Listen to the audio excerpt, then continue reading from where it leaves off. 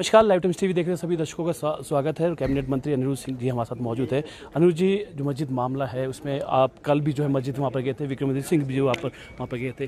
क्या स्थिति है सर क्या लगता है? देखिए जो बिल्डिंग उक्त बिल्डिंग का मामला है जी जी।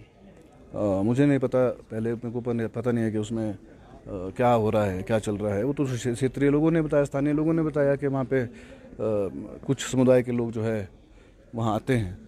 तो विक्रमदित्य जी और मैं, क्योंकि इतना हाईलाइट है पूरे हिंदुस्तान में, वो बिल्डिंग और अवैध बिल्डिंग जो है वो वो पूरे हिंदुस्तान में हाईलाइट है तो हमने बोला कि उसका देखना जाके मुआयना करने चाहिए कि वो कैसी बनी है कितने मंजिल बनी है। कागज़ों की बात थ्योरेटिकली और होती है और प्रैक्टिकली देख के पता चलता है आपको कितनी इंक्रोचमेंट हुई है कितना फालतू बनाया है वास्तविक स्थिति क्या है वो देखने गए थे। अच्छा अ, ये भी बात निकल के आ रही है कि इनलीगल और अनऑथराइज जो है यहाँ पर बात निकल के आ रही है। और अभी भी जो बात हो रही है कि क्या ये किस तरह से इसमें आप देखेंगे? देखिए अनऑथराइज और इलीगल एक ही मतलब है उस चीज़ का। इलीगल भी वही होती है जो बिना परमिशन के बने अनऑथराइज्ड भी होती है जो बिना परमिशन के बने। तो मतलब शब्द ही फ़र्क है मतलब एक ही है।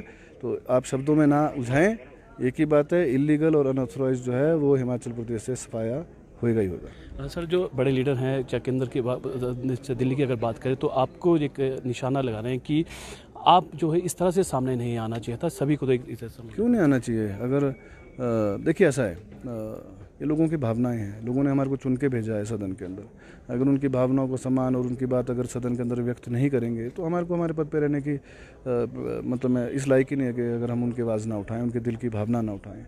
तो उन, उन लोगों ने भी कोई अ, किसी के धार्मिक सेंटिमेंट्स हर्ट करने की बात नहीं करी है। उन्होंने सिर्फ़ बोला ये बिल्डिंग है जी और इस बिल्डिंग में जो है उक्त बिल्डिंग में जो है इलीगल कंस्ट्रक्शन हो रही है। वही चेक कराया गया और फिर विद फैक्ट एंड फाइंडिंग्स वो सदन में रखा गया है। सर आप हमारे चैनल की तरफ़ क्या अपील करना चाहेंगे कि ताकि शांति का माहौल यहाँ पर देखिए आप, आपके माध्यम से क्या मैं सभी को पूरे प्रदेश में बोलना चाहूँगा कि कांग्रेस सरकार है सुखविंदर सिंह सुक्खू जी की सरकार है। कोई कानून व्यवस्था अपने हाथ में लेने की ज़रूरत नहीं है। संयम का अ, ध्यान करें मतलब पेशेंस रखें सभी लोग। कोई ऐसा काम ना करें जिससे सरकार को ही आँखें झुकानी पड़े। हम सब आपके साथ हैं। हर मामले में आप जनता के साथ खड़े हैं। और law and law will take its own course, ये मैं बिल्कुल पूर्ण रूप से बोलना चाहूँगा। चलिए बहुत बहुत शुक्रिया सर हमारे साथ बातचीत करने का। तो ये थे कैबिनेट मंत्री अनिरुद्ध सिंह। जिन्होंने कहा कि संयम बना के यहाँ पर ज़रूर रखे। सरकार उनके साथ है सरकार उनके साथ काम यहाँ पर करेगी जो आ, उचित कार्रवाई होगी वो सरकार उसमें यहाँ पर देगी।